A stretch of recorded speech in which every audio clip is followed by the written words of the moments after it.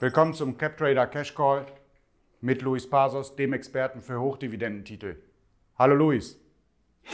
Ja, hallo Dominik und äh, zunächst wünsche ich dir und dem CapTrader-Team sowie allen Zuschauern, sofern noch nicht geschehen, ein frohes neues Jahr. Gleichfalls, danke. Ja, dann lass uns mal direkt loslegen. Ähm, lass uns mal den Hochdividendentitel vom letzten Mal besprechen. Das ja. IPO-Wunder. genau, letztes Mal äh, bist ja gestartet mit, äh, wie du gesagt hast, dem neuen Stern am Dividendenhimmel DoorDash. Das war natürlich etwas ironisch gemeint. Und ähm, ich hatte es an anderer Stelle schon mal gesagt, aber äh, das ist einfach zu gut, was mir da ein Leser zugespielt hat. Und äh, zwar, ich weiß nicht, erinnerst du dich noch so ein bisschen an die Dotcom-Blase, an die letzten Auswüchse? Klar. Ja, und ähm, das ließ sich auch so ein bisschen an den Emissionsprospekten festmachen. Ja. Unter anderem gab es eine Firma Neji.com, alsonej.com, und die hat äh, 1999 den Gang aufs Parkett gewagt und hat äh, ins Emissionsprospekt geschrieben, Zitat, das Unternehmen verfolgt derzeit keine Geschäftstätigkeit und hat seit seiner Gründung aus dem operativen Geschäft keine Umsätze erzielt. Das Management wird den Aktivitäten der Firma einen unbedeutenden Zeitaufwand widmen. Zitat Ende. Also äh, das ja, spürte man ja auch schon so ein bisschen äh, irgendwie, dass damit der Gipfel erreicht ist, weil letztendlich ging es ja nur darum, einen Firmenmantel mit äh, .com-Endung irgendwie an die Börse zu bringen. Ja. Und ähm, nun ist es so in den USA, wenn ich dort als Unternehmen an die Börse möchte, ja, ähm, muss ich ein sogenanntes Form S1 einreichen. Also ein Formular S1 heißt, das ist ein standardisiertes Format. Und zwar ist das die Anmeldung des Börsengangs bei der US Securities and Exchange Commission, die SEC, also die Börsenaufsicht. Und es ist letztendlich so eine Art Registrierungserklärung, wo die grundlegenden geschäftlichen und finanziellen Informationen zur Gesellschaft festgehalten sind. Ja, sind so circa 150 Seiten. Ich weiß nicht, hast du dir mal so eine S1-Erklärung durchgelesen? Nein, nicht im Detail. Nein, habe ich bisher auch noch nie. Aber ich habe einen Leser, an der Stelle nochmal vielen Dank an den Thomas, der mir das zugespielt hat. Und zwar sehr interessant ist von DoorDash die S1-Erklärung und zwar auf Seite 46 und die, denke ich, sollte man dem Publikum nicht vorenthalten. Ich habe es über DeepL mal übersetzen äh, lassen ins Deutsche und dort, ähm, ich zitiere erneut, wir haben eine wesentliche Schwachstelle in unserem internen Kontrollsystem für die Finanzberichterstattung identifiziert und könnten in Zukunft weitere wesentliche Schwachstellen identifizieren oder anderweitig kein effizientes internes Kontrollsystem aufrechterhalten, was zu wesentlichen Fehlaussagen in unserem Konzernabschluss führen oder dazu führen könnte, dass wir unsere periodischen Berichtspflichten nicht erfüllen können. Ja, also hier schreiben wir schon mal, ja, dass die eben nicht in der Lage sind, äh, vernünftig äh, die Zahlen aufzubereiten. Ja, und ähm, das war vermutlich nicht ganz freiwillig, denn ja, dann schreiben sie durch, dass sie halt ein hohes Wachstum erlebt haben und infolgedessen ja, ähm, unsere unabhängige Wirtschaftsprüfungsgesellschaft, jetzt ist wieder Zitat, im Zusammenhang mit der Prüfung unserer Konzernabschlüsse am 31. Dezember 2018 und 2019 eine wesentliche Schwachstelle in dem Kontrollsystem für die Finanzberichterstattung festgestellt hat.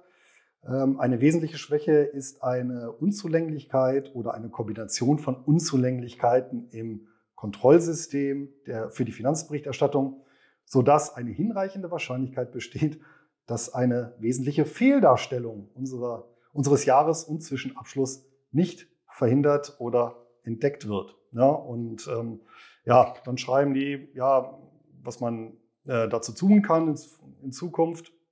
Ja, aber ähm, letztendlich schreiben dann auch, Zitat, obwohl wir uns bemühen, diese wesentliche Schwachstelle zu beheben, können wir den Erfolg dieser Bemühungen oder das Ergebnis unserer Bewertung der Abhilfemaßnahmen zum jetzigen Zeitpunkt nicht vorhersagen. Ja, und ähm, von daher räumen die ein, dass dies zu Fehlern in unseren Konzernabschlüssen führen kann, die eine Anpassung unserer Abschlüsse zur Folge haben könnten und es könnte dazu führen, dass wir unseren Berichtspflichten nicht nachkommen, was das Vertrauen der Anleger in uns mildern, mindern und einen Rückgang des Kurses unserer äh, Stammaktien der Klasse A verursachen könnte. Zitat Ende. Also auf gut Deutsch, die haben Schmuh mit den Zahlen gemacht, sind dabei erwischt worden, ähm, geloben Besserung, aber hinterm Rücken haben sie eben die Finger gekreuzt. Ja, das fand ich also schon eine ganz interessante Aussage, aber durchgekommen sind sie damit. Ähm, ist natürlich dann auch so ein bisschen die Frage, die 150 Seiten, wie genau die von der SEC studiert worden, die ja eigentlich als recht rigide gilt.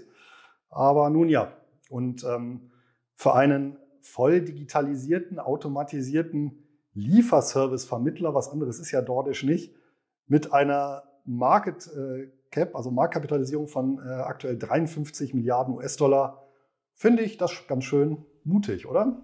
Ja, aber immerhin sind sie offen. Sie können jetzt nicht verklagt werden. Da steht ja jetzt alles drin, wenn man auf Seite 46, so wie du sagst, nachschaut.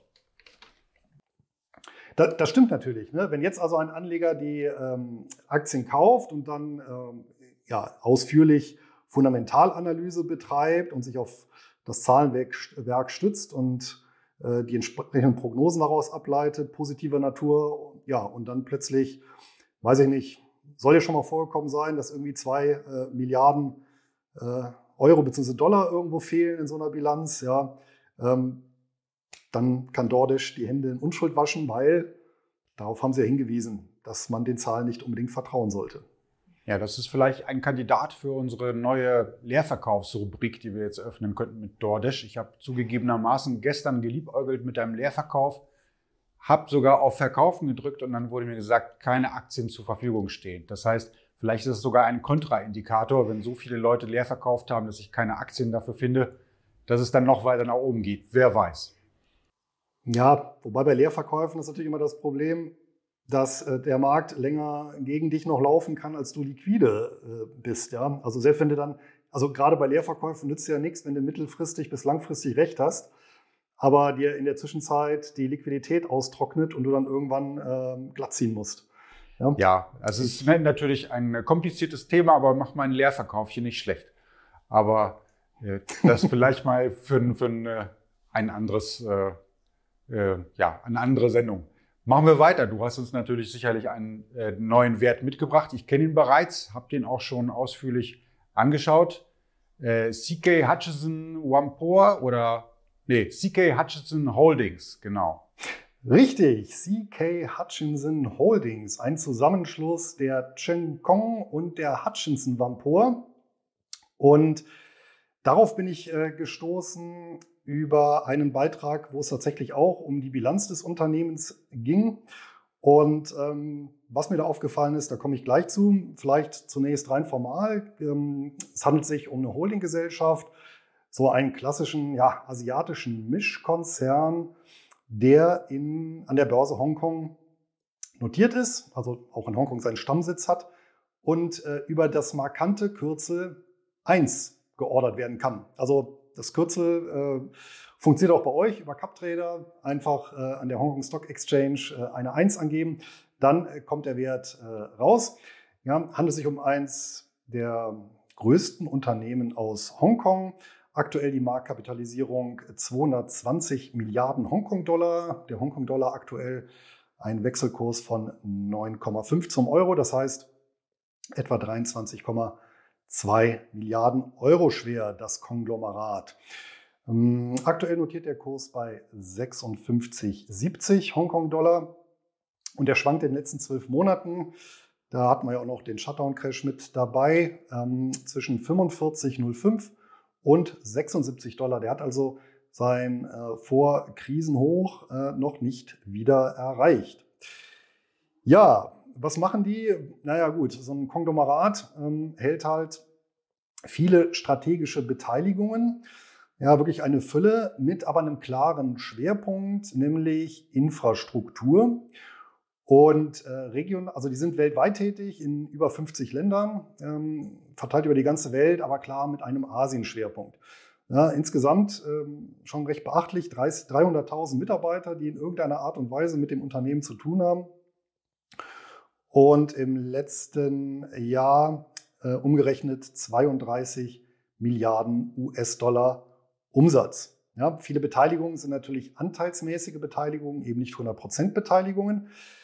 Ja, und wie vorhin gesagt, 2014 ähm, war das ein Zusammenschluss von zwei Unternehmen, ja, wobei hier äh, Cheng Kong dominierend war. Cheng Kong selber 1972 an die Börse gegangen, also schon fast so ein Urgestein in Hongkong.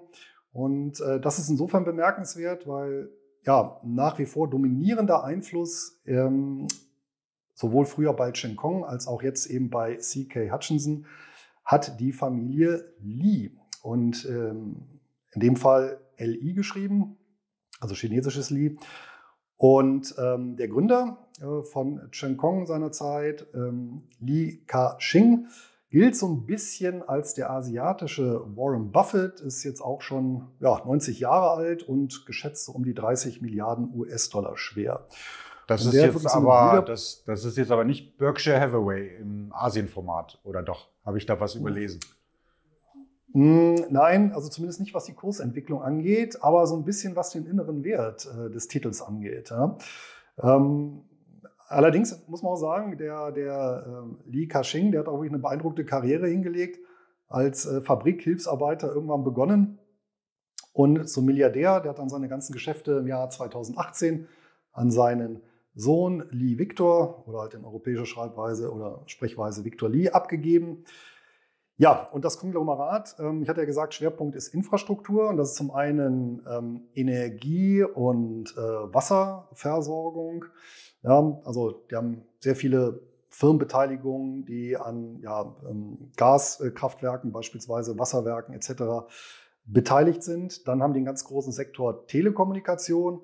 Ja, allein über Beteiligung über diesen Telekommunikationssektor haben die in Europa 40 Millionen Kunden. Ja, denen gehören unter anderem ähm, 30.000 Mobilfunktürme, die allein aktuell ja, geschätzt 10 Milliarden US-Dollar wert sein könnten, auch im Hinblick eben auf den neuen 5G-Standard. Ähm, die haben daneben noch äh, so Sachen wie eine, wie eine Internetsparte, eine Pharma- und Biotechnologiesparte. Ähm, und was ich auch sehr bemerkenswert fand, wirklich äh, strategisch äh, hervorragend positioniert, eine Hafensparte. Das heißt, die haben Beteiligungen und zwar äh, signifikante Beteiligungen, teilweise auch ähm, Alleineigentümerschaft von 50 Häfen weltweit. Ja, unter anderem Barcelona, Sydney, Hongkong, ähm, Busan in Korea, Rotterdam, Veracruz in Mexiko, Jakarta und der Duisburger Hafen hier in Deutschland, der ist ja meines Wissens, also zumindest in Europa, der größte Binnenhafen. Ja, also äh, da hat man sicherlich äh, eine gute strategische Positionierung, wenn man in diesem Infrastrukturbereich, Hafenbereich, ähm, ja, sich da beteiligen möchte.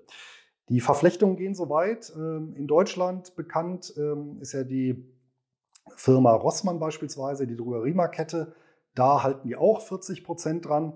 Und denen gehört zu 100 Prozent die ISTA. Da dürfte, ja, ich denke mal, ein Großteil der Haushalte hier in Deutschland mit zu tun haben. Das sind die, die früher abgelesen haben. Das Ganze läuft jetzt natürlich großenteils digital und ist natürlich so eine richtige Cash-Cow, ja, weil das eben ja, was Automatisiertes ist, ähm, ja, entsprechend konstante Gebühreneinnahmen äh, bringt. Also durchaus ähm, ja, interessant aufgestellt. Ähm, jetzt kommt es aber, der, der Chart der letzten Jahre, der sieht äh, wirklich ja, übel aus, ja, von links oben nach rechts unten, so Stückchen für Stückchen runtergebröckelt. Ähm, das Ganze ähm, ja, aktuell auf dem Kurs von äh, 56 Hongkong-Dollar 70. So, wenn man jetzt aber mal in die Bilanz guckt, ja, ähm, und die haben nicht die Einschränkung wie DoorDash, muss ich auch dazu sagen. Die haben aktuell bilanziert an Net Assets, also Nettovermögenswerten 600 Milliarden Hongkong-Dollar. Das entspricht 63,2 Milliarden Dollar. Und wenn wir das nochmal gegen den Börsenwert setzen, ja, mit 23,2 Milliarden Dollar, haben wir hier einen, einen Abschlag zum inneren Wert von über 60 Prozent. Ja, ja, wie, wie kommt's, dazu kommt. Wie kommt's? Die Deutsche Bank hat ja auch so einen Abschlag. Nicht von ungefähr. Wieso haben die so einen Abschlag? Bist du denen auf die Schläge gekommen? Das ist eine gute Frage. Ähm, kommen natürlich mehrere Faktoren rein. Es kann sein, dass natürlich die politische Unsicherheit Hongkongs da äh, eine große Rolle spielt. ja, durch, den, durch den Einfluss äh, Chinas. Ähm, kann natürlich sein, dadurch, dass der Patriarch so alt ist, dass da vermutet wird, also der arbeitet ja weiter fürs Unternehmen als Berater, dass da vermutet wird, okay, ähm, mit seinen Beziehungen und Kenntnissen, dass die Übergabe in die nächste Generation nicht so klappt, wobei das bei Buffett ja im Prinzip genau dieselbe Herausforderung äh, steht. Ja, äh, es könnte sein, jetzt natürlich gerade bedingt durch das Jahr 2020 hm, habe ich natürlich auf der einen Seite sehr stabile Geschäftsfehler wie Telekommunikation. Die werden natürlich nicht erfasst äh, von so einem Lockdown beispielsweise, aber natürlich so der, der Welthandel hat natürlich schon gelitten.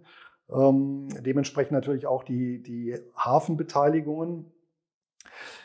Ja, nichtsdestotrotz, ähm, bei dem Abschlag, sofern die Zahlen jetzt nicht völlig geschönt sind, äh, denke ich, ist das ja zum einen so ein, so ein Turnaround-Kandidat, wo man durchaus drauf spekulieren kann, ja, wo wir wirklich, ähm, sofern der Welthandel auch wieder anzieht, äh, da auch wieder steigende Umsätze erleben werden. Die sind übrigens im Jahr 2020 ähm, relativ wenig gesunken, genauso wie die Dividende. Die liegt bei ähm, 3 Hongkong-Dollar pro Jahr.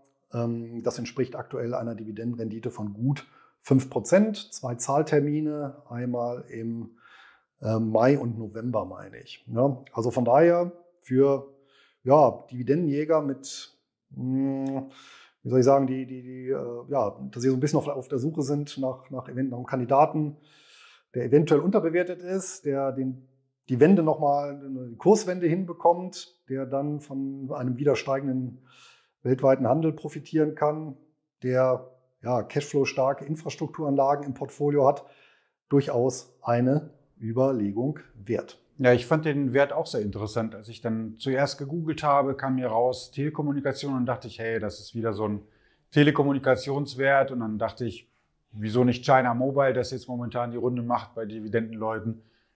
Aber dann habe ich mal da reingeschaut auf die Webseite und das ist tatsächlich, das ist ja wie so ein kleiner ETF oder Fonds, da ist alles vorhanden. Ports, äh, die genau. Funkmasten, die du erzählt hast. Also sehr interessant das Ganze. Genau, also im Prinzip kaufen wir hier einen, einen Fonds mit Schwerpunkt Infrastruktur ähm, im asiatischen Raum, aber eben mit Geschäftsaktivitäten rund um die Welt. Und ja, ähm, ich habe ja auch immer wieder Leser und Hörer oder Zuschauer, die auch sagen, naja, sie suchen einen Wert auch, mit dem sie so den Asienanteil ein bisschen erhöhen können, der noch ein bisschen unterrepräsentiert ist. Und dann ist das sicherlich ein Titel, der in die engere Wahl gezogen werden kann. Das Zweite, woran ich direkt immer gedacht habe, als ich das gesehen habe, zerschlagen. Also wenn man das Ding zerschlagen würde, dann würden wahrscheinlich Werte gehoben werden. So habe ich mir das mal gerade angeschaut. Also die Ports, Funkmasten, Drogerieketten.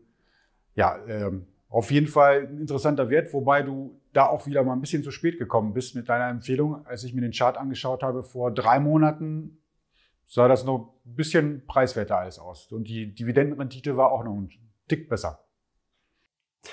Ja, da äh, letztendlich die, die Wahl des richtigen Zeitpunktes ist ja eine philosophische Frage dann auch, ja, eines Einstiegs und Ausstiegs. Ja, aber sicherlich äh, eher ein Wert in die Kategorie, kann man länger halten. Ja.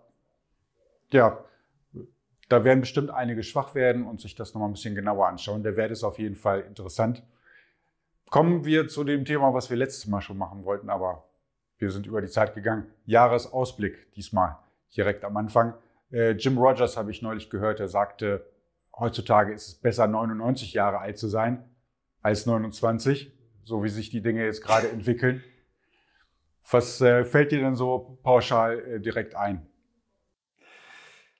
Äh, ja und nein, wenn ich das Zitat höre. Also auf der einen Seite ist es natürlich richtig, gerade jetzt in Deutschland, wenn ich an die vielen jungen Leute denke, die jetzt mit Studium oder Ausbildung fertig werden, die treten dann natürlich ein äh, ja, hartes Erbe an und die, also ich persönlich rechne dann auch mit realwirtschaftlichen Verwerfungen, gerade in Europa, die dann natürlich, wenn wir das Ganze noch EU-weit ziehen, äh, darin kulminieren, äh, dass, dass wir natürlich in der südlichen Peripherie Länder haben, ja, die in hohem Maße vom Tourismus leben. Ja, äh, beispielsweise meine spanische Heimat da trägt der Tourismus ja auch äh, ja, 15, 20 Prozent zum Bruttosozialprodukt bei, regional ja noch viel mehr.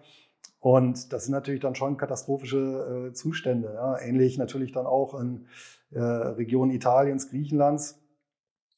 Ja, das Ganze eben mit den stark steigenden äh, Schuldenquoten. Ja, Griechenland hat zum Jahreswechsel die 200 Prozent äh, Grenze geknackt, also Verschuldung, Staatsverschuldung in Prozent des Bruttoinlandsprodukts, ist also auf dem ja, Weg, das Niveau Japans zu erreichen. Hätte es übrigens auch schon, wenn es den Schuldenschnitt nicht gegeben hätte, 2010 oder 2011, wann er war.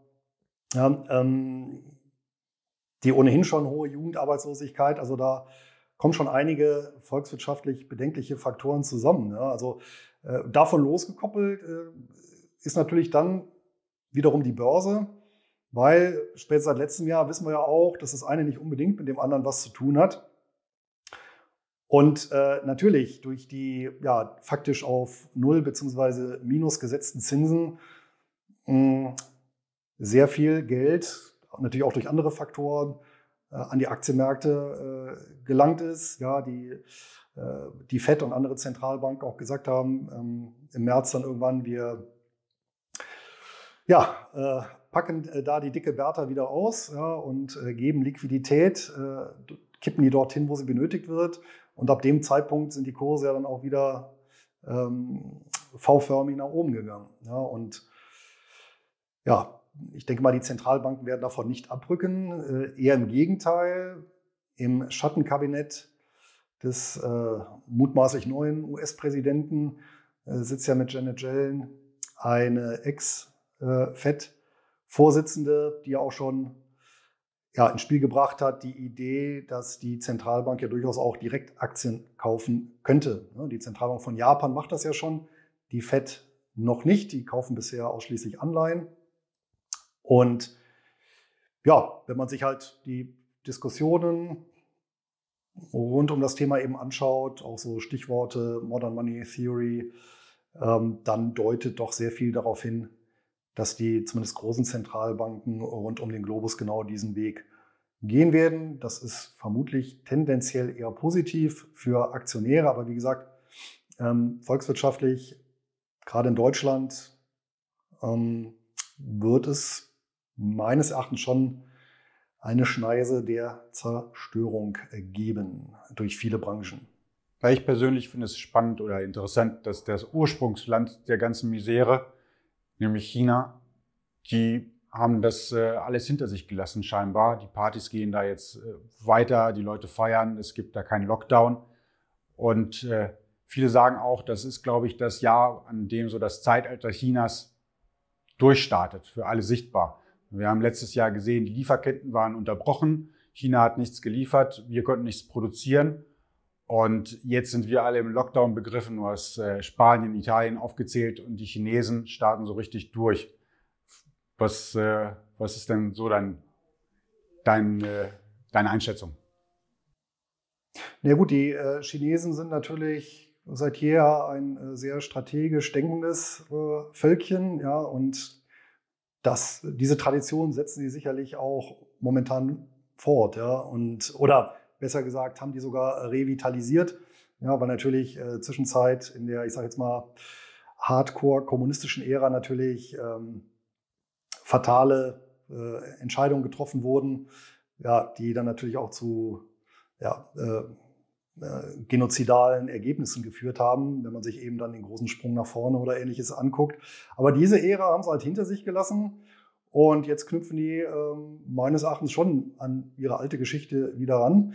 Und äh, ich denke mal, es ist ja auch kein Zufall, dass demonstrativ in Wuhan Massenpartys ohne Abstände, ohne sonstiges gefeiert werden. Das ist doch die Demonstration an den Rest der Welt. Seht her, der chinesische Weg ist der erfolgversprechende.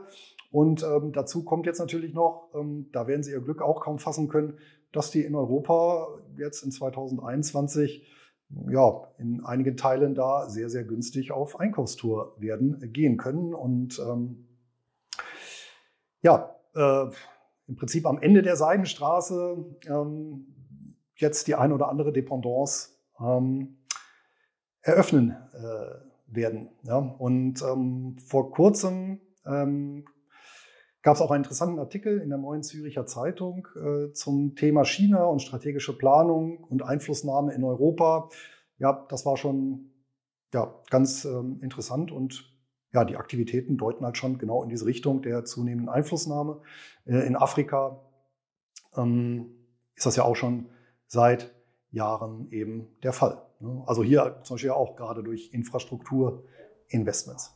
Wie siehst du dann als Reserveoffizier die ganze militärische Macht äh, Chinas, die Spratly-Inseln, die sie kürzlich aufgebaut haben, dann zusätzlich diese Überschallraketen als Carrier-Killer. Das heißt, äh, die USA könnten denen gar nicht sagen, was sie zu tun haben, wenn sie es denn wollten. Also ich glaube, ein militärischer Konflikt würde der passieren, äh, den könnten die USA nicht mehr für sich entscheiden, meine ich.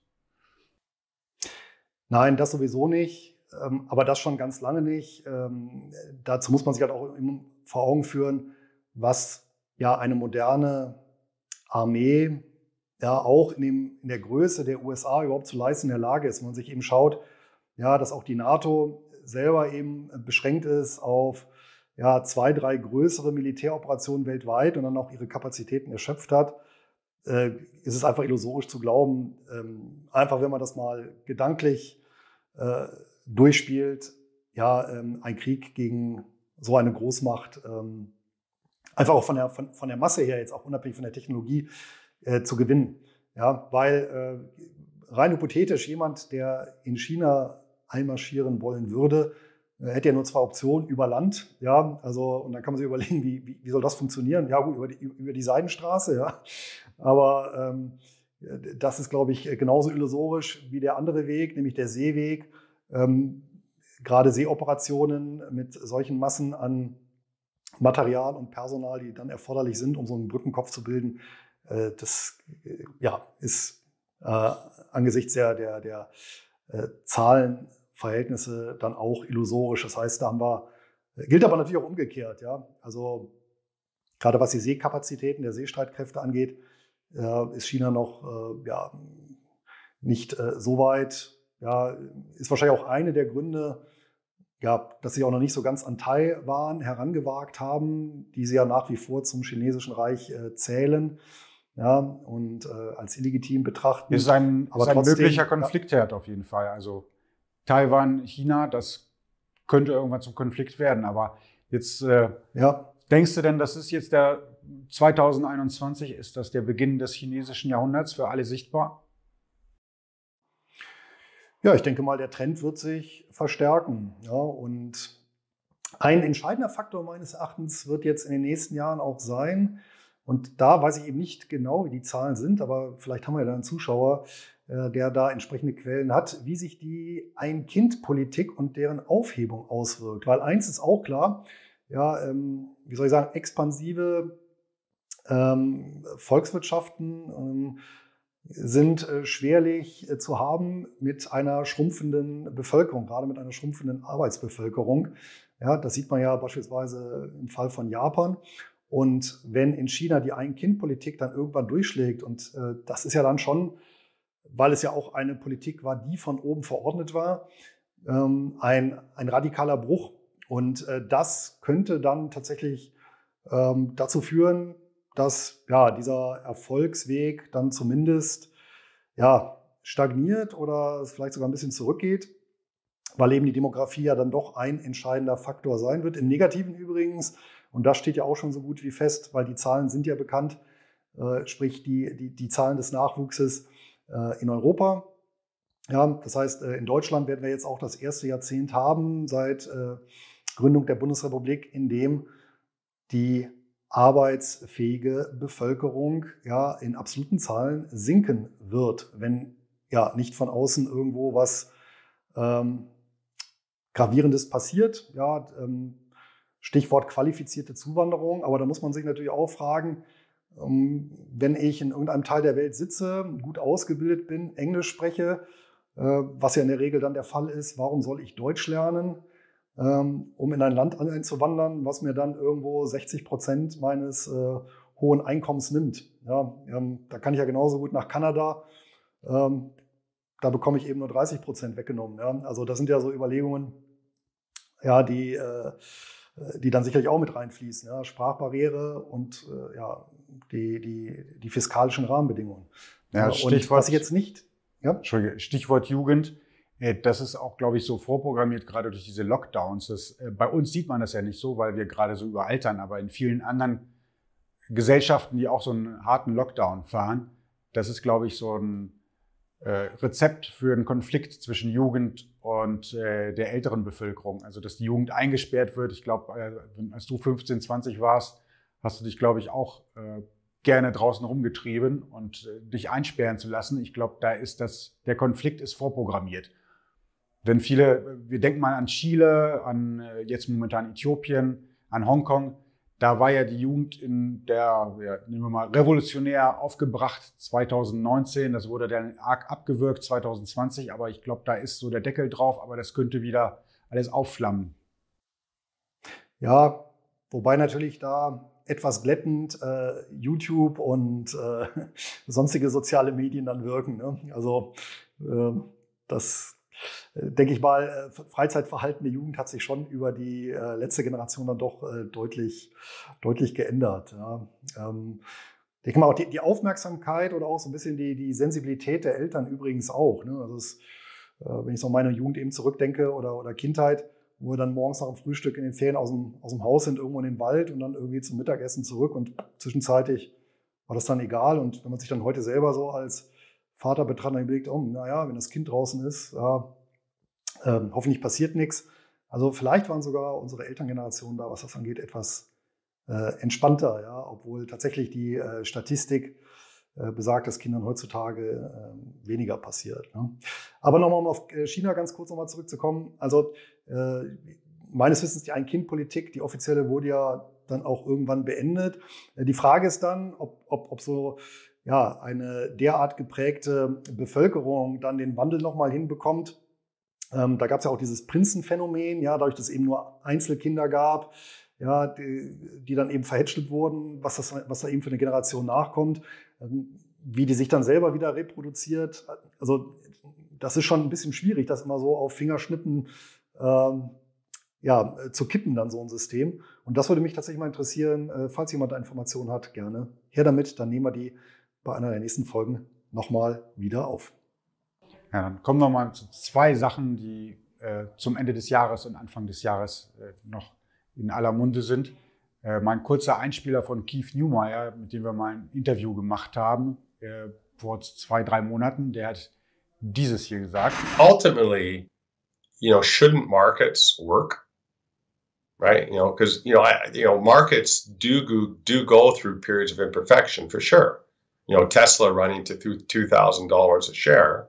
You know, that's imperfection, right? You know, it, it's it's anomalous. It's an you know, um, you know, you know, five years from now, you know, we'll be looking back and saying, wow, you know, that was pretty interesting. Just like we look at the dot, dot com bubble back in 1999 and 2000 and look what happened then. You know, the, the NASDAQ hit 5,000 in, in March of 2000 and it didn't, and it went, it had an 80% correction over the next three years and, and, and stayed there until, and, until uh, 2012 or 2013. And it wasn't until 2015, 15 years later, that it hit 5,000 again. Was sagst du dazu, Luis? Ja, was Tesla angeht, könnte er sogar recht haben. Ja, die Innovatoren oder in der Geschichte waren ja häufig die Innovatoren nicht die, die am Ende, ja, sagen wir mal, des, äh, des Schumpeterschen äh, Zerstörungs- und äh, Kreativitätsprozesses dann übrig geblieben sind. Ja, ähm, und von daher, ja, klar, könnte gut sein, ähm, dass äh, Tesla eben in absehbarer Zeit eben nicht mehr die Größe hat oder Bedeutung, dass äh, das Unternehmen abgelöst wird oder zumindest dann in den Wettbewerb tritt mit anderen ähm, und damit eben nicht mehr diese äh, dominierende Stellung hat. Ja? Also so dieses ähm, Nokia-Phänomen, sage ich jetzt mal. Ne? Da war es ja so ähnlich, ähm, wenn man sich eben noch vor Augen führt, dass äh, kurz bevor das iPhone, das erste im Jahr 2007 auf den Markt kam, äh, hatte ja Nokia noch weit über 50 Prozent Weltmarktanteil bei Mobilfunktelefonen. Ja? Also da hätte ja auch niemand gedacht, dass sie das irgendwie wieder verlieren. Aber, ja. aber die hatten den Anteil. Tesla hat ja noch nicht den Anteil. Die sind ja bewertet, als wenn nee. sie 40 Prozent aller Autos weltweit produzieren würden. Und dabei ist es ja, nur ein verschwindend geringer Teil von Elektroautos. Ja, also wenn man, klar, wenn wir das jetzt natürlich verengen, müssen wir das natürlich auf die Elektromobilität. Was die angeht, da muss ich halt einfach auch sagen, also ähm, da kenne ich mich einfach technisch zu wenig aus. Mein Vater, Gott hab ihn selig, der war ja Physiker und ich weiß, der hat schon in den 80er Jahren große Stücke auf Elektroantrieb gehalten und ähm, ich glaube, der äh, würde sich heutzutage sehr freuen, dass er doch so mittlerweile äh, Modelle gibt, äh, die man erwerben kann und ich glaube, der würde sich tatsächlich äh, sofort so ein Auto ähm, zulegen. Ja, also, also von physikalischer Sicht hat er eben auf die sehr frühzeitig eben ja, so äh, der Elektromobilität ähm, eine gute Zukunft verheißen. Ja. Ja, aber, aber auch für die, auch für die, ja, aber so auch für die beste Technik gibt es einen Preis, der zu viel ist. Also es nimmt schon kolossale Ausmaße an, die Bewertung. Aber wenn man so in der Blase steckt, dann sieht man die Blase vor der schieren Größe nicht.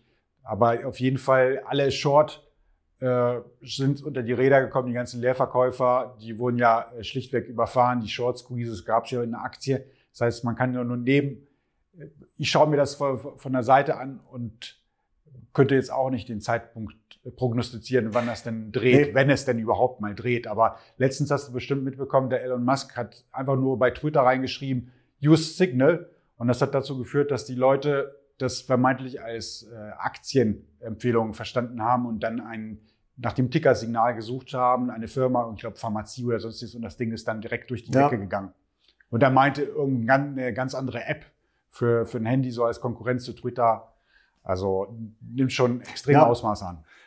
Aber da sind wir, und da schließt sich wieder der Kreis zu Anfang. Ich hatte es am Anfang gesagt, diese Firma vorgestellt, äh, Neji.com. Und da ging es auch nur um das .com am Ende. Und das war die Signalwirkung. Ne? Und das ist natürlich dann so ähnlich, nur jetzt eben personenbezogen. Ja, wenn wenn äh, so jemand, so jemandem Erlöserqualität zugestanden werden. Und ähm, ja, dann werden eben selbst Wortschnipsel ja, in das Narrativ äh, hineininterpretiert, so dass es passt. Und ja, dann kommt es dann doch zu äh, solch, solch exorbitanten äh, Bewegungen. Und da ist natürlich recht. Äh, es hat, ich glaube, ja, schon seit zwei, drei Jahren gibt es ja durchaus auch äh, ja, große professionelle äh, Lehrverkäufer, die auch gezeigt haben, dass sie ihr Handwerkszeug beherrschen, ähm, die natürlich übelst, äh, also sich übelst blutige Nasen geholt haben ja, mit ihrer Position gegen Tesla. Ja, dann FOMO, Fear of Missing Out.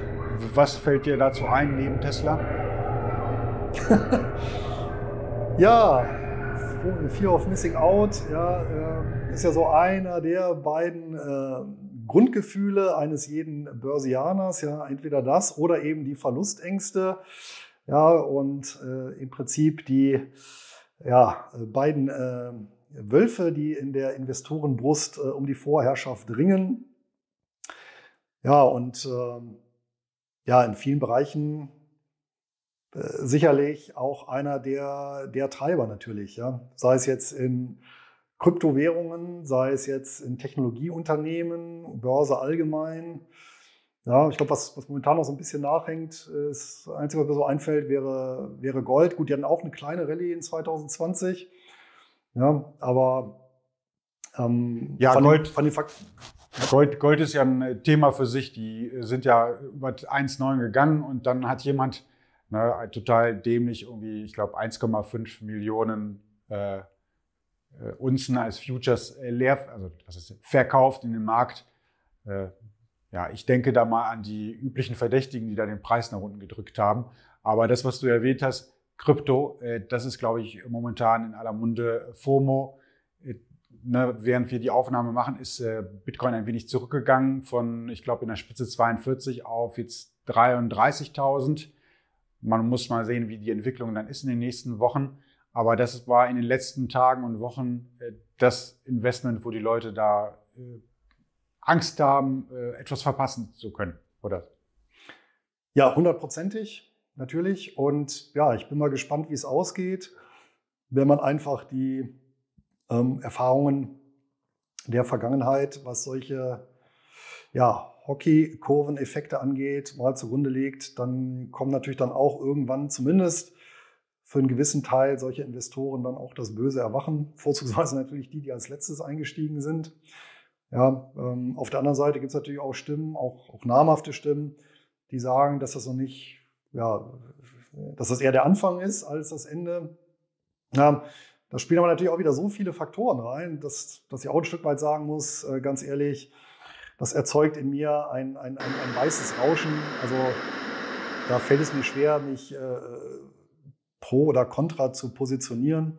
Ja, sicherlich, äh, was auch ein Auslöser ähm, dafür gewesen sein dürfte, dass jetzt das Thema äh, Krypto, ja, Währungen, also äh, digi digitale Signaturen interessant äh, geworden ist, äh, ist äh, sicherlich auch der, die, die Politik der Zentralbanken, ja, die natürlich ähm, in dem weltweiten Ausmaß dazu führt, dass ja viele und mittlerweile ja auch institutionelle Investoren ihre Portfolien überdenken und dann kommen natürlich solche neuen Anlageklassen, die bisher nicht beachtet worden sind und eventuell einen ja, Ersatz bieten können für ja, ähm, andere Portfoliopositionen, die nicht mehr so attraktiv sind, beispielsweise Anleihen. Ja, ähm, ja, kommt natürlich sowas in Betracht. Ja, ja ich finde das Ganze verdächtig, weil die Zentralbanken, die dulden ja keine Konkurrenz neben sich. Es scheint mir zu sein, als wenn die Leute daran gewöhnt werden, an die Idee Kryptowährung und das positiv besetzt wird.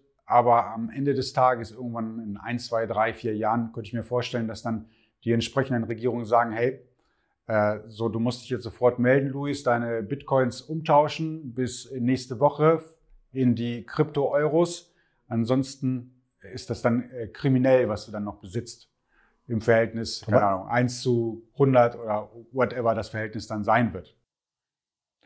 Meinst du so wie seinerzeit das Goldverbot, das dann eben äh, gegen Dollar abgeführt werden musste und so ähnlich halt ein Kryptoverbot? Ja, absolut. Ja. Ich, ich traue dem, trau dem Braten nicht, dass man das einfach so äh, hinnimmt, weil äh, ja, die Gegenwehr ist relativ schwach, das stimmt. Also bisher jedenfalls noch. Oder ähm, man lässt natürlich die Börsen und Kapitalisierungen ähm, in die Höhe gehen und ab einer gewissen, ähm, ja, äh, ab einem gewissen Volumen ähm, besteht natürlich dann auch die Möglichkeit, dann gerade solche Plattformen, wie soll ich sagen, in den, in den Kreis der regulierten Finanzdienstleister mit reinzuziehen. Ne? Und ähm, was habe ich auch nicht gelesen, beispielsweise die, ich glaube, die US-amerikanische Steuerbehörde, die hat ja mittlerweile auch eine Abteilung, die ausschließlich dafür da ist, eben äh, Kryptowährungen äh, ja, äh, herauszufinden, bestimmte Transaktionen, wem die zuzuordnen sind und dann eben daraus äh, steuerliche Sachverhalte äh, zu prüfen. Ja. ja, das Ganze ist nicht so äh, anonym, wie manche das annehmen. Und in China sind nee. Äh, Bitcoins ja mittlerweile auch verboten. Gut, können Sie natürlich irgendwie einen Schwarzmarkt äh, etablieren, aber dann dürfte das natürlich, also spätestens dann, wenn das der Fall ist, dürfte natürlich der Preis deutlich nach unten gehen ähm, weil ja dann äh, im Prinzip äh, genau dieses Schwarzmarktphänomen auftaucht. Ich habe eben keinen regulierten Markt mehr. Ich, hab, ich muss Preisabschläge hinnehmen, weil ich mit, mit, mit etwas Verbotenem äh, in Anführungsstrichen bezahle. Ja, um, das äh, wird sicherlich dann ähm, der Kapitalisierung äh, nicht zuträglich sein, äh, obwohl es vermutlich, da stecke ich aber auch nicht so tief drin in der Technik, aber äh, da gibt es sicherlich äh, Lösungen, das dann komplett ähm, vorbeilaufen zu lassen an öffentlichen Stellen. Aber wie du natürlich richtig sagst, äh, Kryptowährungen oder Kryptovermögenswerte sind pseudonym und niemals eben anonym. Ne? Also ja, irgendwo, zum Schluss. Denkst du, möchte, denkst du, das ist mehr die Tulpenmanie oder ist das äh, die neue Leitwährung? Schwierig zu sagen. Aber Fakt ist ja nach wie vor wird es eine Nachfrage nach äh, Dollar, Yen, Euro, Yuan geben. Einfach deswegen, weil ich ja mit Kryptowährungen nicht meine äh, Steuern begleichen kann. Ja, und ähm, ich kenne ehrlich gesagt auch niemanden, der seine Rechnung, also auch Privatrechnungen irgendwie mit, mit, mit Kryptowährungen ähm, begleicht. Also von daher ist das eher ja, ein, ein, ja, ein Vermögenswert, ein digitaler Vermögenswert ja, und jetzt eben kein klassisches Transaktionsmittel. Ja. Also und ja, was daraus wird, ähm, vermutlich nicht das, was wir denken, was daraus wird. Ja. Aber in irgendeiner Art und Weise äh, wird es sicherlich äh, Einzug halten, einen breiten wirksamen Einzug halten. Ja. ja, lassen wir uns überraschen. Dann beenden wir mit diesen Auf jeden Worten. Fall. Äh, freut mich, dass du wieder vorbeigeschaut hast. Und äh, ja, Dominik, die Freude war ganz meinerseits. Wir hatten wieder einige interessante Themen. Immer eine Freude, mit dir darüber zu diskutieren. Und ich freue mich dann auf unser nächstes Gespräch Mitte Februar. Alles klar, Luis. Bis dann. Bis dahin. Mach's gut, Dominik.